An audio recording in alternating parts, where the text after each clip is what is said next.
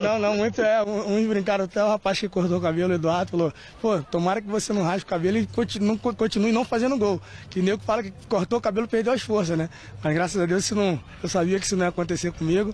Acho que eu raspei e ganhei mais força. Tá certo, valeu, Love. Tá aí, Neto. Inclusive tá com o troféu de melhor em campo. Valeu, Wagner Love. Vamos ver se agora é um atrás do outro. Se Deus quiser. Valeu, vamos ver, vamos ver, craque Neto. Wagner Love, atacante do Corinthians. Agora ele marcou. A, a, a maratona, para você que tem. Você tem 18 anos, você tem já a carta de habilitação já? Tem, Não, já tem- ainda não. Mas tá fazendo autoescola? Já tô tirando já. Tá, mas não repetiu no exame, não, né? não. Vai ficar, é, vai tranquilo, vai uma marcha bonitinha, vai. Nem, vai de, quem te leva pro, pro campo? Leva o motorista do, do Nilson. Ai, que legal, cara. Pô, moleque, não tem nem. Deixa eu fazer uma pergunta. Habilitação é brincadeira. A Aí o Maravilha vem já colocando responsabilidade do menino. Calma, Maravilha. Fala, Dan. Eu ia fazer uma pergunta, a gente tá vendo as imagens do jogo, né? a gente pode falar mais do jogo, mas eu fiquei com essa curiosidade porque você falou do carro, Né? da habilitação. Mudou tudo na tua vida de um ano pra cá, cara? E, e não só pra você, mas para as pessoas vezes. que te cercam. É. As pessoas te cercam. Viu, vem gente pedir carro emprestado, carro de presente, eh, jantar, almo... a loucura. Teve uma loucura à sua volta? Mexeu com Não, você o ainda que não. aconteceu na sua vida? Não, ainda. Não, ainda não, ainda não. Nem caiu a ficha ainda, que eu... Tomara que não caia e continue trabalhando do jeito que eu tô trabalhando. Mas nem, mas não, mas nem pra quem tá ao redor, porque a pessoa- o pessoal ao redor às vezes fica mais, né, Mila? Fica mais excitado que a gente, né? Não sei como foi contigo. E assim. por isso que eu falei da mãe dele, porque a mãe dele, como eu conheço a De história boa. dele, ela blindou muito ele. É o primeiro programa que ele vem. né? Ele nunca apareceu em outro programa.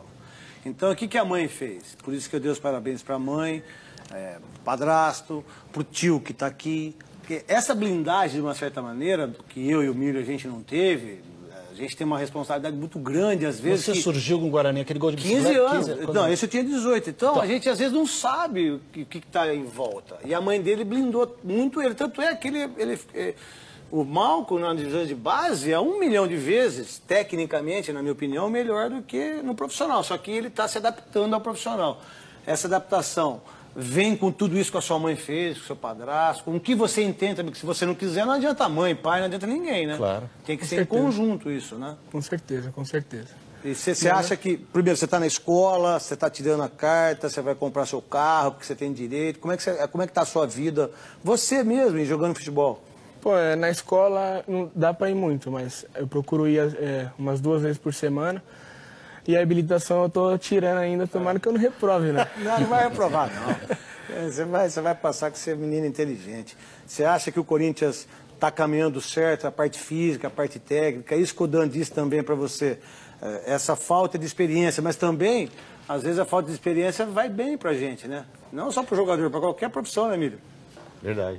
Porque você, às vezes, você, sem muita responsabilidade, às vezes você joga até mais. Às vezes você fica pensando, ah, vou dar 20 pontos de audiência, 30. Claro. Às vezes não, às vezes você tem que saber. É, nessa história da mudança do Tite, né? Eu, todo mundo talvez imaginasse que você tinha que, se você não fosse titular, ia dar, dar problema, ia dar encrenca. Você ia pedir para sair do Corinthians, você ia pedir para ser vendido. É, renovou o contrato. Que é o que acontece muito com gente nova que, que desponta, e desponta bem, como é teu caso, e daí quer um lugar no time para fazer acontecer e tal.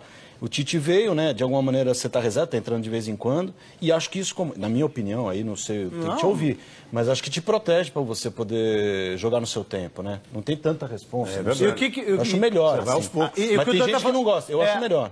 Mas e o- e o- e acrescentando o que o Dan está falando, o que, que, o que, que foi diferente do departamento amador para o profissional para você? E que você está se adaptando e que você precisa melhorar? Você enxerga? Pô, eu enxergo que eu preciso melhorar mais a poder de finalizar, né? Isso. É, mais fora da área, pegar a bola. Eu preciso mais entrar, entrar dentro da área mais. É, consegui entrar dentro da área alguns, algumas vezes, consegui fazer os gols. E a gente vem trabalhando. é, gente, Na base, quantos gols você fez? Pô, eu não sei, cara. Mas são muitos. São muitos, Foram são muitos. Foram muitos. E você jogava como ca- ca- camisa 10 ou você jogava como segundo atacante? Eu jogava como camisa 11. Eu jogava pela ponta direita. Vinha por dentro e... Ponto de conhecer. Pensa sobre isso e até naquilo que o Dan disse, né? Se você. A responsabilidade, não tem a carteira de habilitação ainda. é, você. A gente sabe da habilidade que é feita em cima de você, o primeiro programa. Você entender que você precisa entrar mais na área, mas por outro lado, também pelo esquema do Tite, você tem que voltar para marcar. Marcar até o final. Até o final. Até o final, acompanhar o lateral até o final.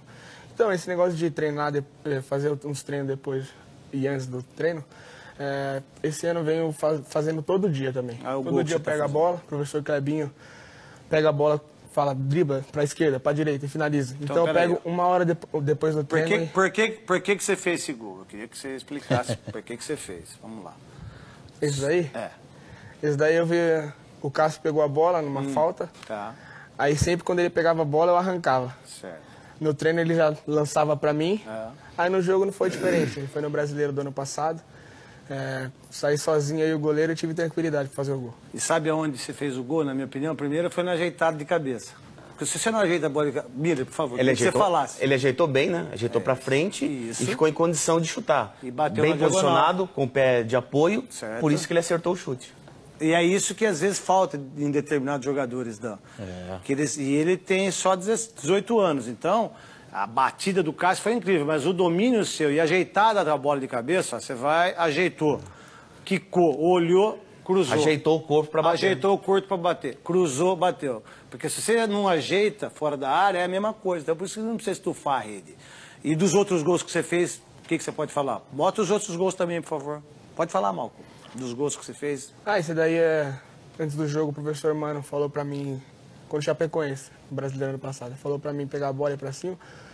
Ah, o- meus companheiros também falavam pra mim isso. Se eu pegar a bola e pra cima, pedalar e ir pra cima, ele não ia me pegar. E foi diferente, é, eu podia pedalar, é, tirar do, do marcador e bater debaixo das pernas do Aquele gol, aquele gol anterior